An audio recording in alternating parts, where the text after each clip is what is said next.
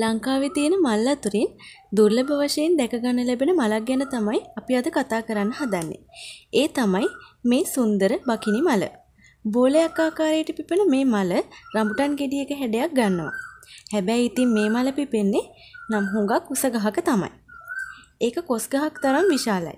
ඒ වගේම එක්වරකට මල් විශාල ප්‍රමාණයක් මේ බකිනි ගසේ පිපෙනවා.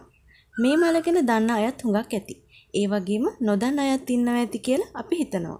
ඉතින් දන්න අය කමෙන්ට්ස් වලින් අපිට තව විස්තර කියන්න.